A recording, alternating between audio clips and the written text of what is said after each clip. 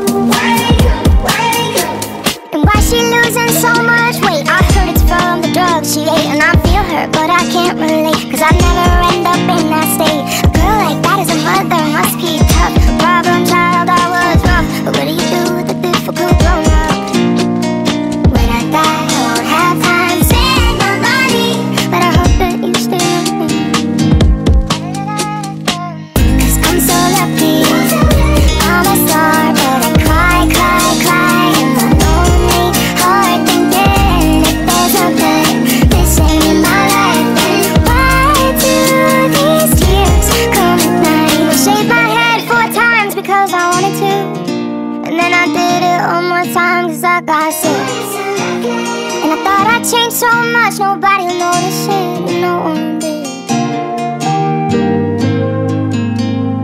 Then I left the doctor's office for the tears.